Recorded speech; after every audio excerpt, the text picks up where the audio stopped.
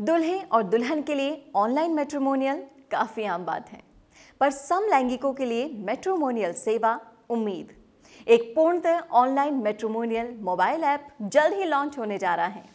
Free registration के लिए log on करें www.umeed.app पर। गोपनीयता सुनिश्चित।